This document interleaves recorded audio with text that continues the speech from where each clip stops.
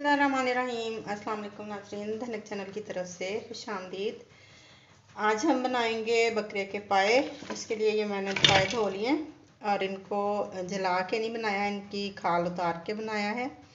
और अब इसमें हम बाकी मसाला जात डाल देते हैं। जी, ये एक बकरे के पाए हैं। अब इसमें हम डाल देते हैं। ये दो प्याज दरमियाना साइज़ मैंने चार चार पीस कर लिए और एक अदर टमाटर है। उसको मोटा मोटा काट लिया और उसके साथ अब इसमें हम शामिल कर देते हैं। ये हाफ़ टी स्पून हल्दी पाउडर और ये वन टीस्पून नमक हाफ़ टेबल स्पून लहसुन का पेस्ट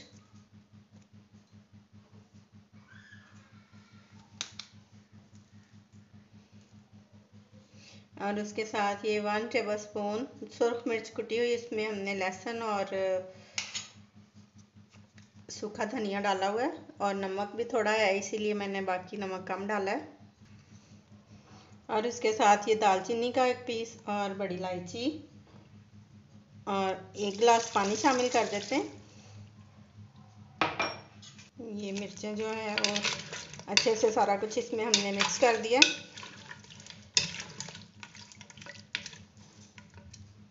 और अब इसको हम ढाँप देते हैं और चूल्हे पे रख देते हैं।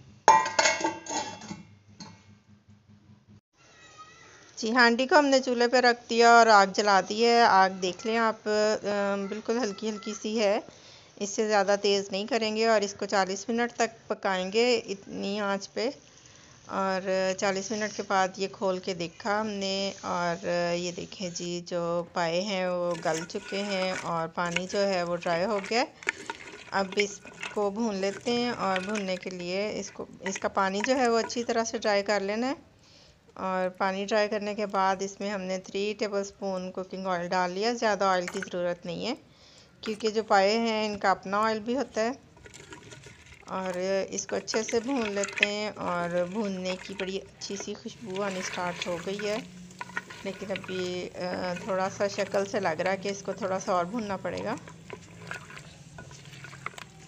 ये अच्छे से भुन गए। पाए जो है वो अच्छी तरह से भुन गए बड़ी अच्छी सी शुरू हो गई है। शुरू हो गई है और अब इसमें पानी डाल देते हैं पानी डाल के अभी मैंने फाइव टू पानी डाला पानी डाला है। ये देख लेते हैं अगर पूरा हुआ तो ठीक है नहीं तो थोड़ा और डाल लेंगे तो ये थोड़ा कम ही लग रहा है।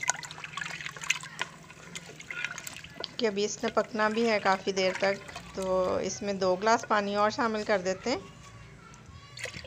जी, ये दो गिलास पानी डालने के बाद इसको एक बार अच्छे से हिला देते हैं और अब इसको ढाँप देते हैं और एक घंटे के लिए इसको दरमियानी आग पे रख देना है।